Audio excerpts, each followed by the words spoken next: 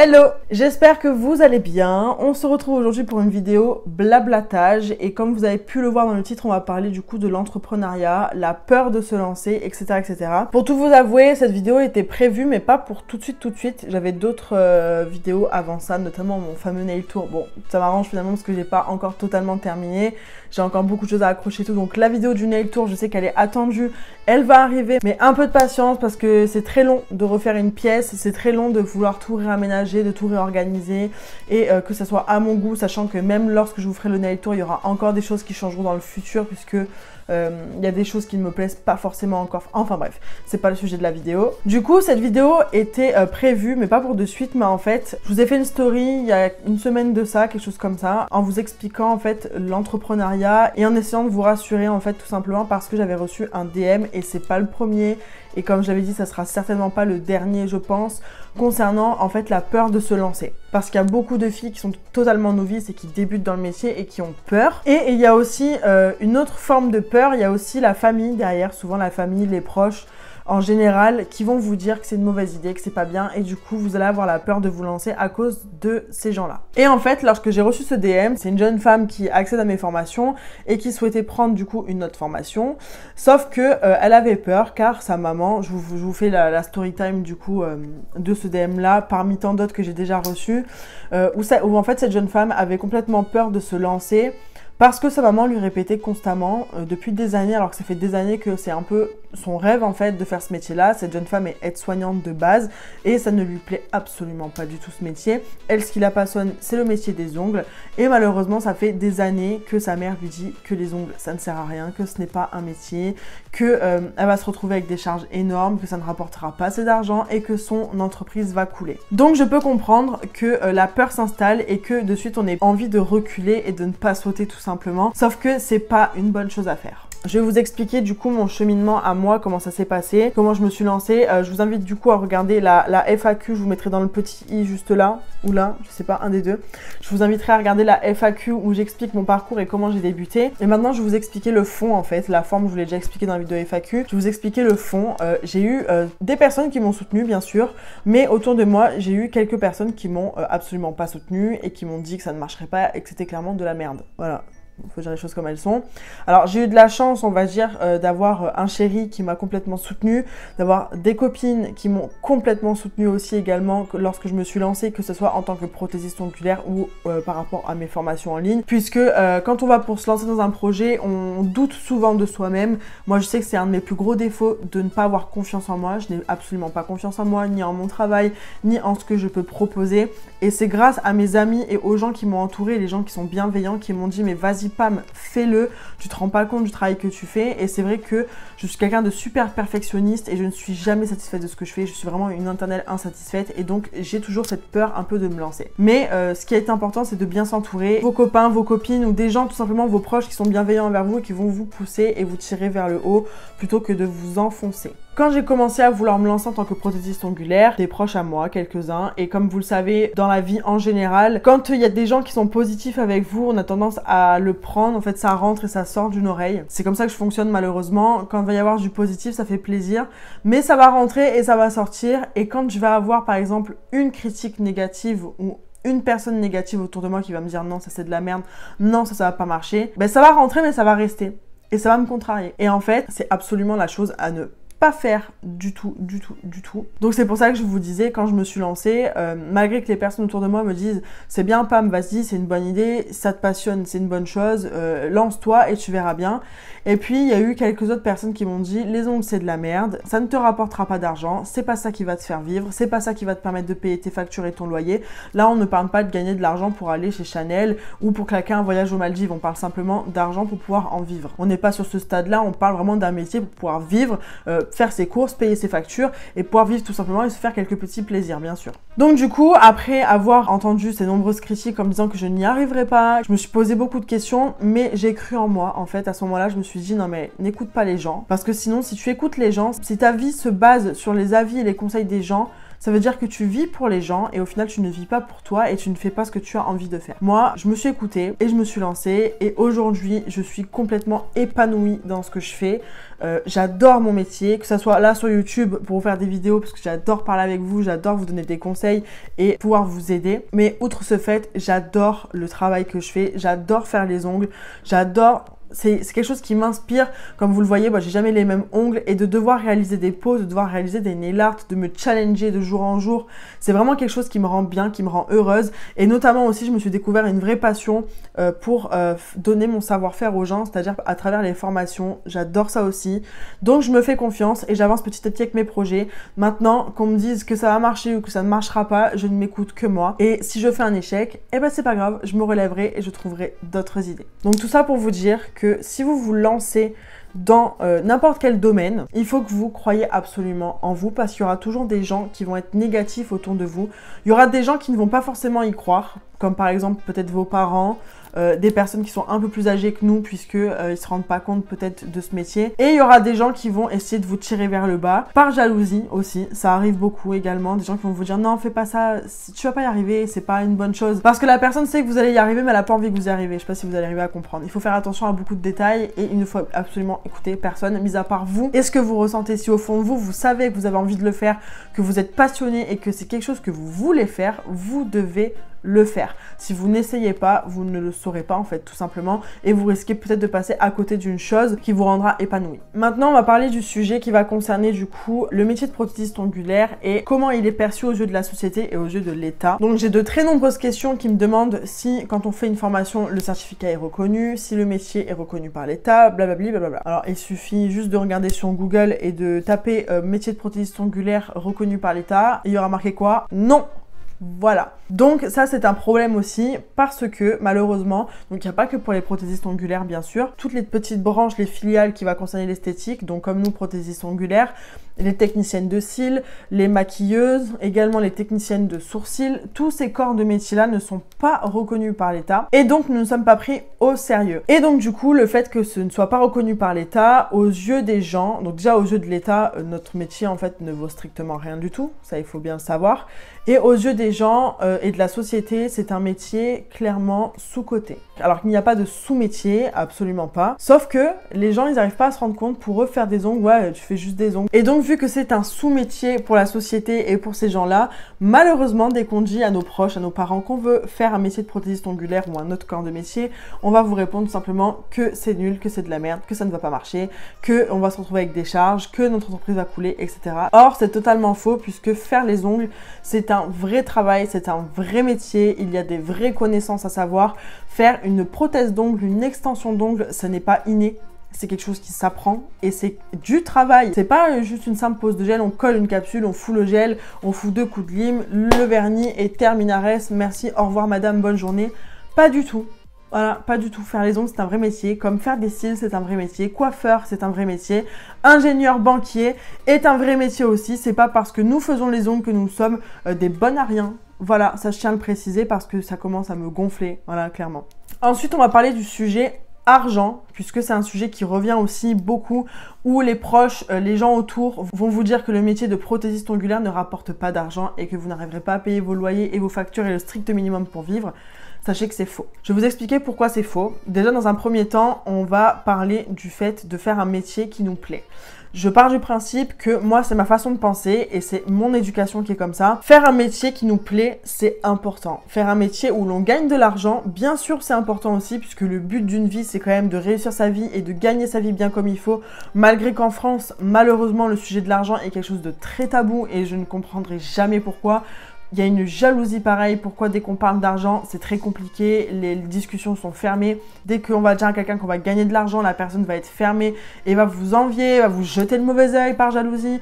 Je ne comprendrai jamais cette mentalité française, mais comprenez bien une chose, c'est que dans le métier de prothésiste ongulaire, on peut gagner de l'argent, comme dans n'importe quel autre métier. Tout simplement. Si vous allez faire un métier qui ne va pas vous plaire, euh, vous n'allez pas être épanoui. Alors certes, euh, vous allez faire un métier qui va vous rapporter de l'argent, mais est-ce que vous allez être épanoui tous les matins en vous levant? Est-ce que quand vous allez sortir du lit, vous allez être contente d'aller travailler? Est-ce que la journée quand vous travaillez, vous sentez que vous travaillez ou justement vous ne sentez pas que vous travaillez? En fait, ça c'est la clé pour moi de la réussite. C'est pas forcément gagner de l'argent à outrance et de euh, faire des trucs de fou avec son argent.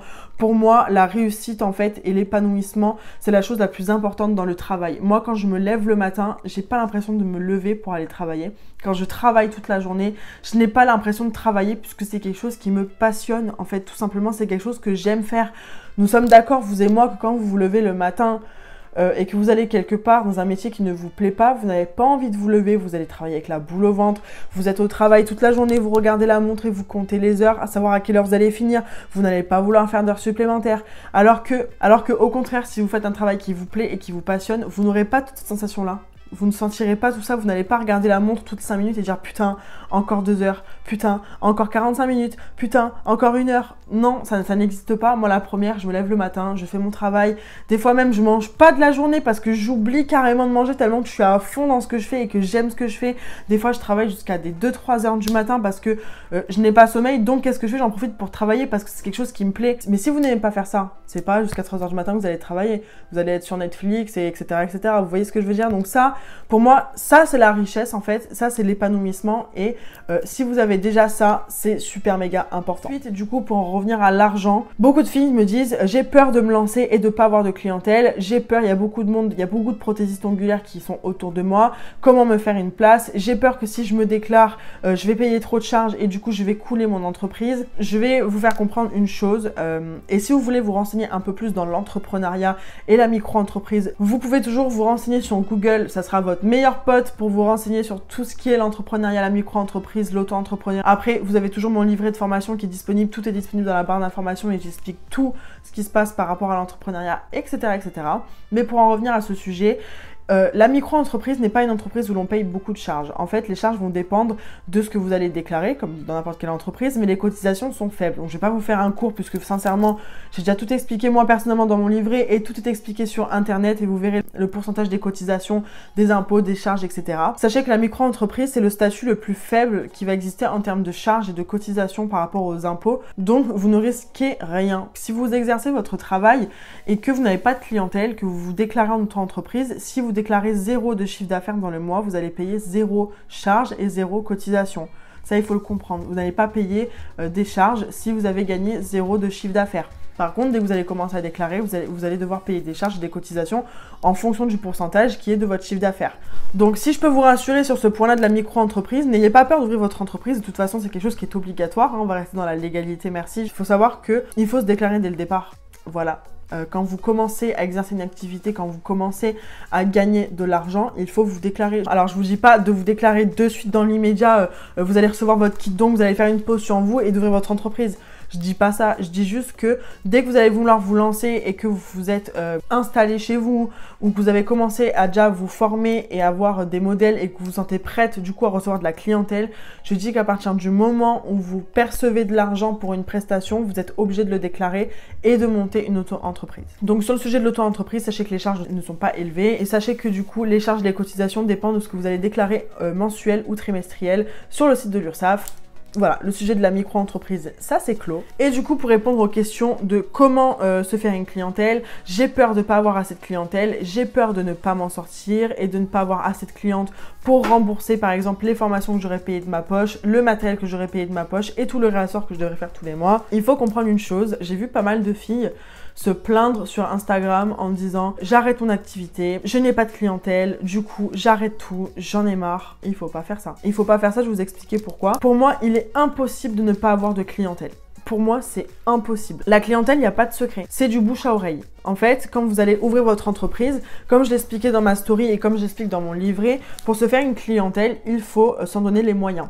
L'argent, ça ne tombe pas du ciel, l'argent, ça ne pousse pas sur les arbres, les clientes ne vont pas toquer à votre porte comme ça par hasard si elles ne vous connaissent pas, il faut vous en donner les moyens. Dans la vie, quand on veut, on peut, et dans la vie, quand on ne se donne pas les moyens de faire quelque chose, on n'arrive à rien du tout. Et c'est totalement normal. Donc si on n'essaye pas, on ne peut pas savoir. Et si on ne fait rien, il ben, n'y a rien qui tombe du ciel. Donc pour se faire une clientèle, moi les conseils que je peux vous donner, c'est de, euh, quand vous débutez, de faire des flyers avec des flyers qui sont bien expliqués, qui sont très lisibles, avec vos prestations, les tarifs marqués dessus. Pourquoi pas faire une offre de lancement, genre le mois de lancement, euh, tel mois, euh, vous avez telle remise sur les prestations ou les pots sont à tel prix au lieu de tel prix pendant tout le mois. Vous avez plein de possibilités attractives pour attirer l'œil de la clientèle. Ensuite, ce qui est très important, c'est d'avoir un compte Instagram ou une page Facebook qui soit carré, qui ait du contenu, que vous soyez active, que vous postiez euh, en story vos disponibilités, que vous postiez les pauses que vous faites sur votre feed, que les photos soient de bonne qualité, que voilà, vous soyez active sur votre page pour que,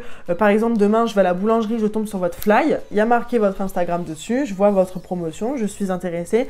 Qu'est-ce que je fais?